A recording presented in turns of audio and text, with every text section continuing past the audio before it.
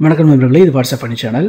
ராமாயணம் அப்படின்றது மனிதன் எப்படி வாழணும் அப்படின்றத உணர்த்த கடவுளான மகாவிஷ்ணு மனித அவதாரம் எடுத்த கதையை சொல்லுது.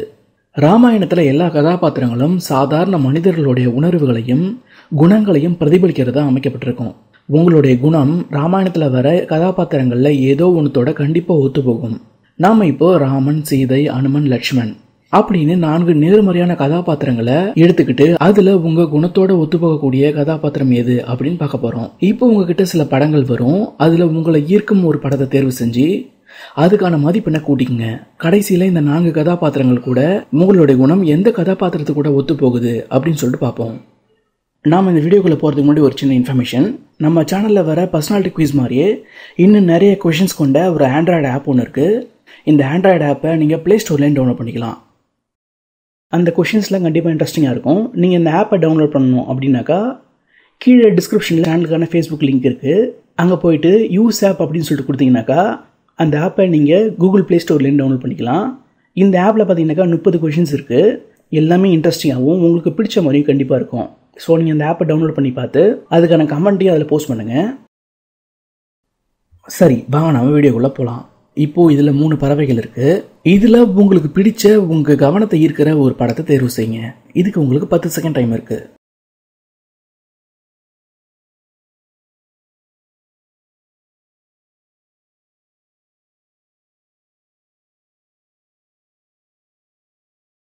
உங்களுக்கு அடுத்த படம்.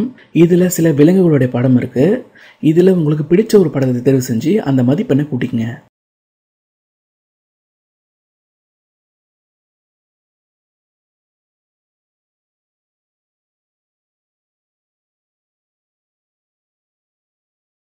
இதில் உங்களுக்கு பிடிச்ச சூரிய உதயத்தை தேர்வு செஞ்சு அந்த மதிப்பெண்ணை கூட்டிங்க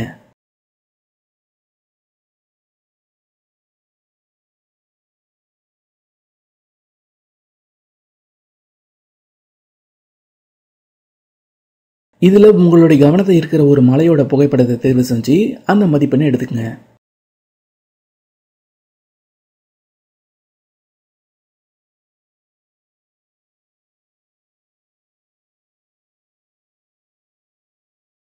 இதில் ஐம்பெரும் பூதங்களில் நெருப்பு நீர் நிலம் அப்படின்னு சொல்லிட்டு மூணு பூதங்கள் இருக்குது இதில் நீங்கள் ஒன்று தேர்வு செஞ்சு அந்த மதிப்பெண்ணை கூட்டிங்க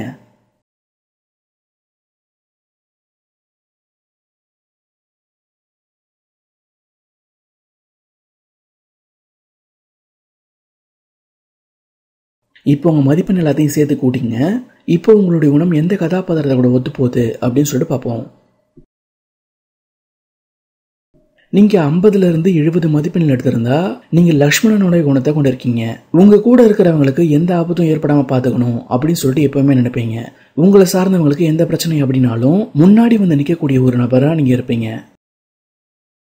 நீங்கள் எண்பதுலேருந்து நூறு மதிப்பெண்கள் எடுத்திருந்தா நீங்கள் சீதையோடைய குணத்தை கொண்டு இருப்பீங்க அதிக நம்பிக்கை கொண்டவராகவும் தன்னுடைய கடமைகளை சரியாக முடிக்கக்கூடியவராகவும் இருப்பீங்க.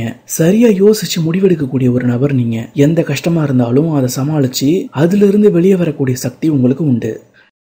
நீங்கள் நூற்றி பத்துலேருந்து நூற்றி முப்பது மதிப்பெண்கள் எடுத்திருந்தா நீங்கள் ஹனுமனுடைய குணத்தை கொண்டு இருப்பீங்க மனசில் அதிகபட்ச சக்தியும் வலிமையும் இருக்கும்.